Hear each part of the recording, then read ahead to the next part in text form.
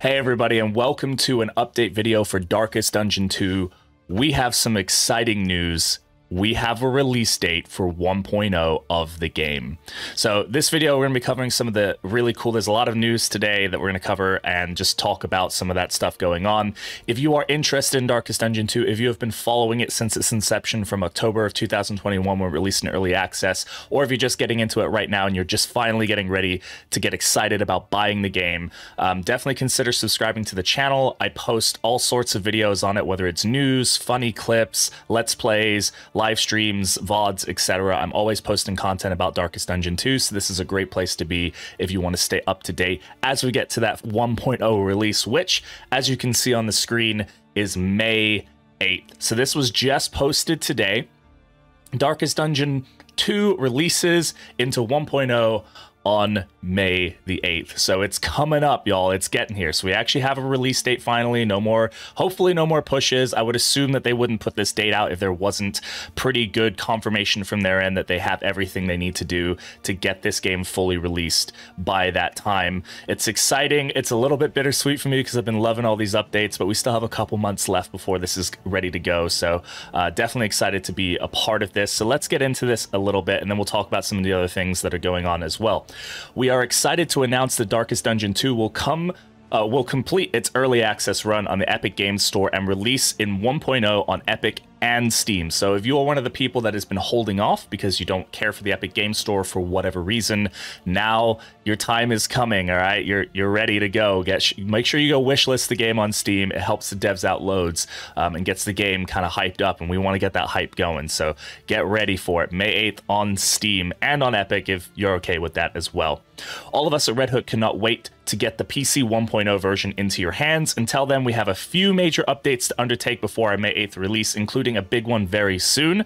So exciting stuff coming still. We have quite a few more updates. I'm assuming there's probably going to be I, I don't know. We're, we're, gonna have to figure out what it is. They, they, we still have a little bit of a roadmap. There may be some things that don't make it until 1.0. I'm not sure if they're planning some kind of updates after 1.0, which is something that I believe they did with Darkest Dungeon 1 as well. I'm not sure, but maybe they did.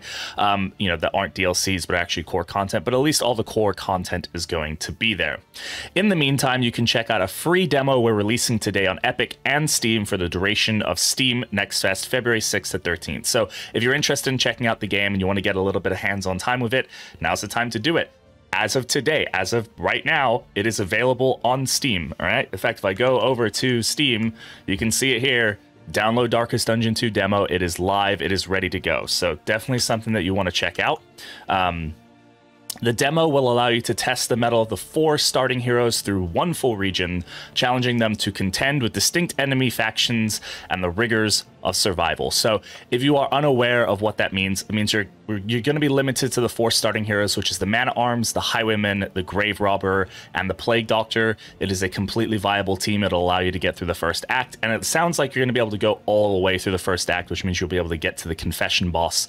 Um, I'm not going to spoil any of that if you don't want spoilers, but you will be able to do a full uh, area. Now, I will say it says you'll only be able to explore either the Sprawl, the city, or the Foetor, which are the farms. Those are two of the five available regions. So do keep in mind if you're playing the demo, you are getting a limited viewpoint of the game. This is just to get your feet wet, right? If you want to play the game fully, you're going to have to either go buy it on Epic and and play it as it is now, or you're gonna have to wait until the full release. Um, so just do keep that in mind. You're only getting two of the regions. I would say these are probably these are some pretty good regions. The Sprawl is kind of like the one that they've been advertising since the very beginning. The initial trailer was in the Sprawl, uh, and the Foetor has some really really good artwork as far as the uh, how gruesome the game can look and how kind of messed up the enemies can be. So very interesting. I'm assuming that the other things that will be included in there will be kind of the factions that are uh, synonymous across all the regions, so you'll probably get to see some of those and the cultists and things like that. So you will get a pretty good in-depth look at the game and four heroes. So a good idea of at least if it's something that you're interested in. Do please note that no progression will be saved, so you're not gonna be able to like progress in the demo and then buy the game and get that progression. This is just a demo, and it's only through the 13th. It's free to play, but as soon as the 13th is over, I'm assuming you will no longer have access to the demo. Uh, so if you want to play it, now is your time to do this. We'll also be supporting this exciting event with live streams on on Steam, featuring members of the Red Hook team. So we have a Q&A coming up tomorrow at 11 a.m. Pacific time, and we have a gameplay stream coming up on the 8th uh, at 1 p.m. Pacific time. You can see that information here. I'll make sure that the link to this is in the description. Um, Let's see. Actually, let's see. Who does it have here? Uh, 11 a.m. Sit down with creative director Chris Bourassa and uh, design director Tyler Sigman. Chris and Tyler are the co-founders of Red Hook Studios and the co-creators of Darkest Dungeon. So they are everything Darkest Dungeon is from them. So it's a great team to be able to get their questions in. Uh, there was a form that was recently posted, so people have been submitting questions. So there'll probably be some really good ones, hopefully some funny ones as well.